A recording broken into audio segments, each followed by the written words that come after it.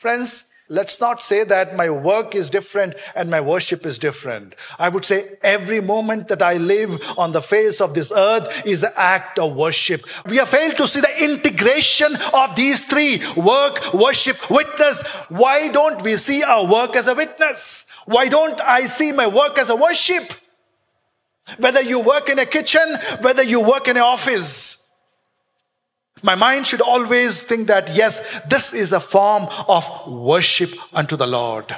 And so God reminds us from through scripture, we are to worship God the way I work at office, the way I deal with my friends, the way I go to marketplace, the way I do my daily chores, in the light of all that the Lord has done, our only response could possibly be give a total devotion to our Jesus Christ every moment of our life.